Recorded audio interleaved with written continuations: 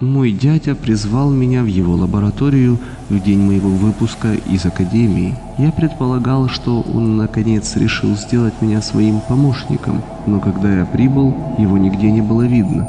Его летающая машина стояла на основании башни, готовая к длительному полету. Если мой дядя должен был срочно бежать, то странно, что он не взял машину с собой. Здесь что-то не так.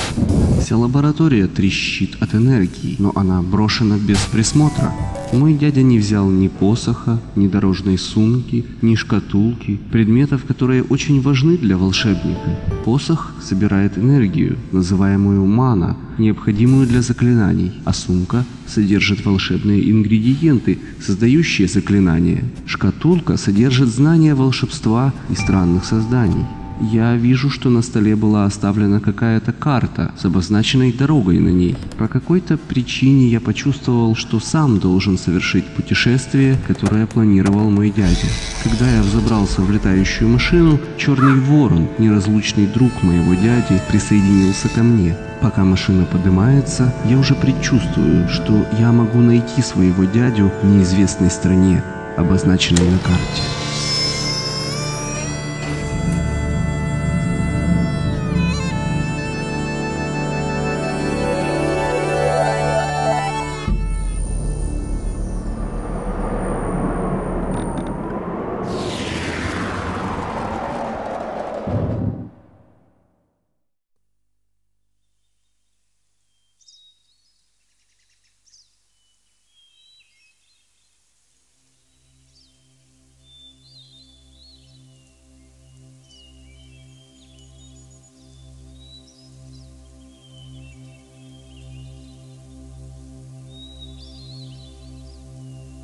Я упал вместе с машиной в темный лес, поэтому я был просто оглушен, а ведь иначе я разбился бы.